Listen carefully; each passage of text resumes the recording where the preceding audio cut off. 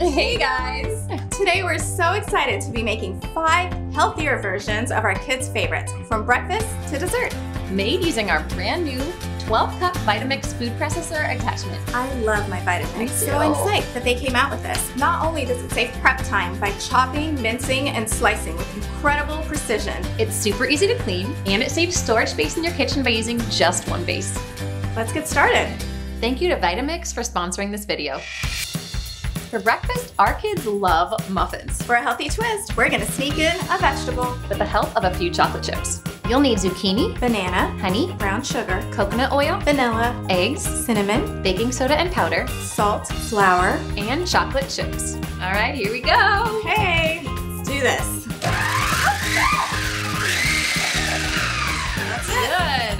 Quick release. Next, the wet ingredients, then give it a stir. Followed by the dry ingredients. Oh, oh no. Ah, no. You don't have to add a lot of sugar. The bananas and honey will make this sweet. It's looking, ooh, it smells good. Okay, is it good enough, you think? What do we think? I think? think it's good. Okay. All right. Fill your muffin tins and sprinkle with chocolate chips. Bake for approximately 12 minutes. And like magic. Cheers, cheers. Mmm, you can't even taste the veggies. What do you think? I love them. Yay! Next up, cauliflower mac and cheese. And for this hidden veggie fave, you'll need Block cheese, cauliflower, veggie stock, milk, butter, mustard, nutritional yeast, panko crumbs, pasta. and seasonings. Preservatives are normally used to keep shredded cheese from clumping. I didn't know that. So instead, we're gonna use this large shred disc to make a healthier version. All right, let's do it.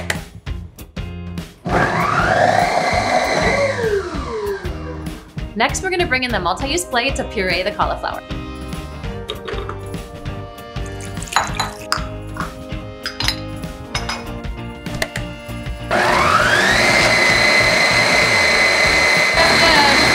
Pour the sauce over the pasta and mix it up. Oops, we spilled a little. That's okay. Scoop into the baking dishes, sprinkle with cheese and panko crumbs. And bake until golden brown. What do you think, Sid? It's actually really good. Nice. Snack time! Instead of frying, we are baking nutritious sweet potatoes. You'll only need Olive oil, and salt. and this is so quick thanks to the thin sliced disc So we're gonna show you in slow motion.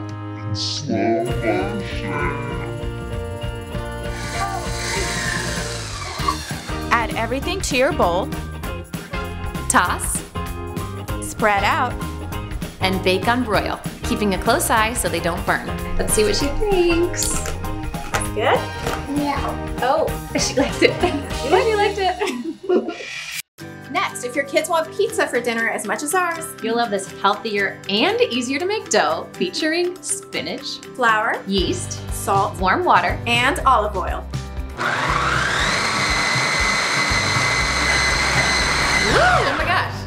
It comes together so quickly. And cuts the kneading time down to just one minute. I love that. And while the dough is rising, let's slice up some toppings.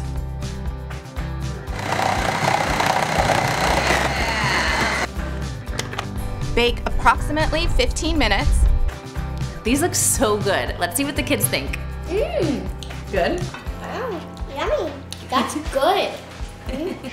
And finally, strawberry shaved ice, An all natural dessert with just two ingredients strawberries, and honey. To start, we're gonna switch out the processor with the original blender. that easy. Add strawberries, honey. Now we blend. Pour into an ice cube tray and freeze overnight. And then shred. It is so easy.